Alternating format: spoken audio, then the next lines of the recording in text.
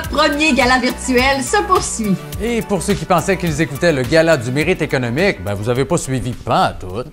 Ah non, non, non, c'est terminé ce temps-là. C'est plus le gala du mérite économique, là. FFI, NNI, maintenant le gala des Dubucs.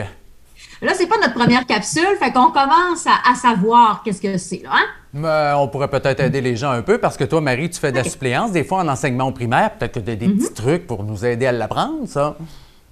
OK, suivez-moi. Gala des Dubuc. C'est bon, c'est bon, vous êtes super bon. Bravo, tout le monde est prêt? C'est parti.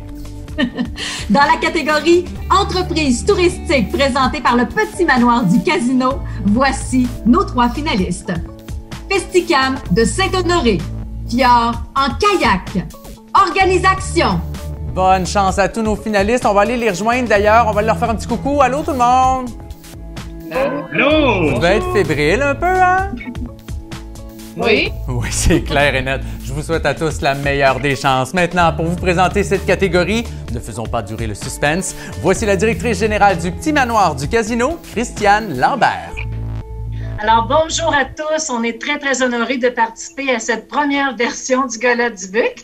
Donc, on veut vraiment euh, remercier tout le monde euh, pour leur participation. On est fiers d'être avec vous. Euh, on a bien hâte de recevoir tout le monde à partir du 5 juin en Charlevoix et au Québec dans les industries touristiques d'ailleurs. Et le premier prix, euh, le, grand gagnant de la, du prix du BIC dans la catégorie touristique est Organisation! Brianne Ouellette, Simon-Olivier Côté, Organisation, donnez-nous vos réactions! Fantastique, c'est génial. En fait, là, on tient euh, d'abord euh, à dire qu'on est assez fiers d'avoir remporté ce prix-là dans la catégorie entreprise touristique. Euh, toute l'équipe d'organisation, évidemment, se joint à nous pour remercier notre clientèle, sans qui nos aventures ne seraient pas possibles.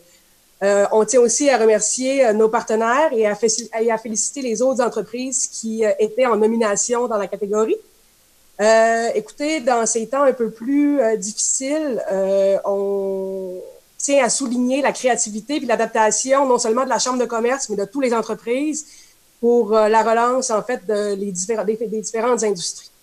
Donc, euh, écoutez, euh, on nous souhaite et on vous souhaite une saison estivale. Donc, merci encore une fois. Merci énormément. Puis, beaucoup la Chambre de commerce. Et merci à nos, aux autres qui étaient dans la catégorie avec nous. Merci à vous deux et encore félicitations. Absolument bravo à tout le monde.